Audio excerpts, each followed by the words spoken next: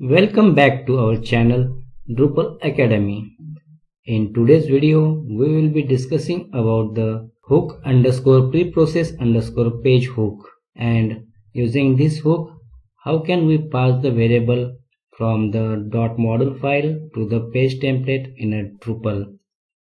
So let's get started. First, I will explain about what is hook underscore preprocess underscore page function.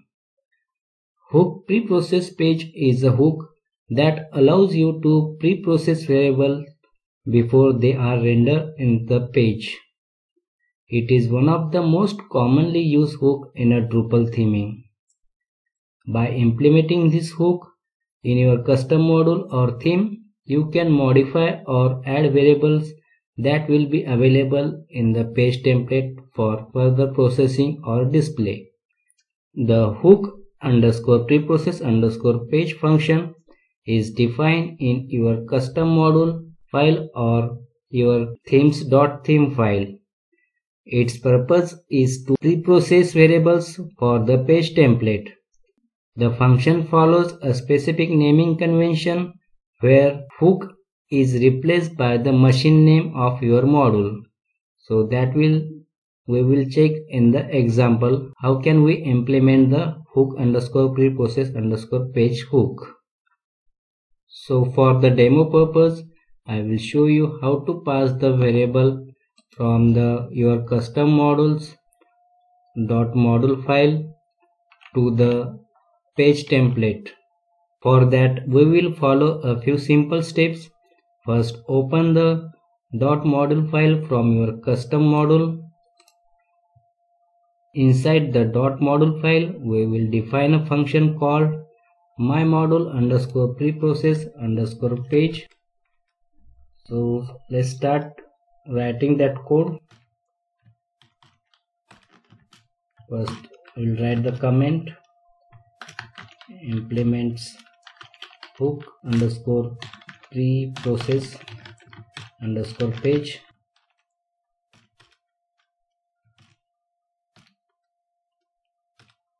now define the hook function.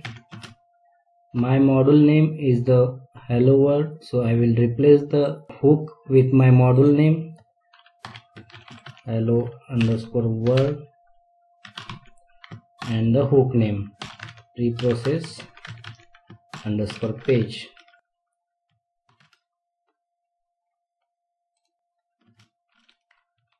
This function accepts the one reference variable that is dollar variables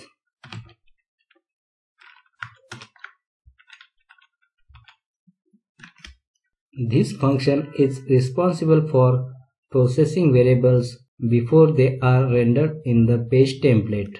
Now within the our preprocess underscore page hook we can add our custom variables to the dollar variables array. Dollar variables. And we'll we'll write the our custom variable name as a custom underscore variable. And assign the value. So we will assign value like uh, Drupal Academy We can set the value to the custom variables any data you want to pass to the page template. It could be a string, an array or any other type of data. With the variable custom underscore variable set in our dot uh, module file, we can now access it in our page template. So for that, open the page.html.twig file of your theme. Inside the page.html twig file, we can access that variable like this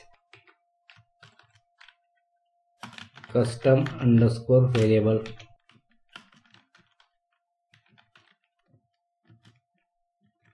Now save these files and clear the cache. I will clear the cache using the drush cr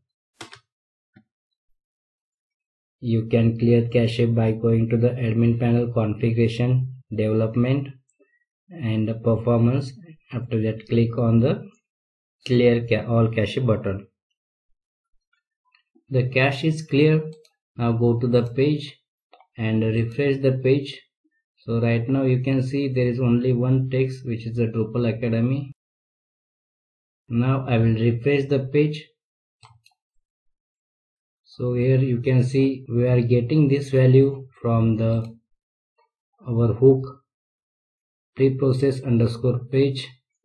And uh, we have set that value inside this custom variable and printed that variable inside the, our page.html twig and that's it. We have successfully passed a variable from our dot .module file to the page template in a Drupal. This technique allows us to dynamically provide data to our templates enabling us to create more flexible and customized website. So that's it from this video. Thank you for watching. If you found this video helpful, please give it a thumbs up and subscribe to our channel for more Drupal related content. If you have any query or suggestions, feel free to leave them in the comments below. Thank you for watching. See you in the next video.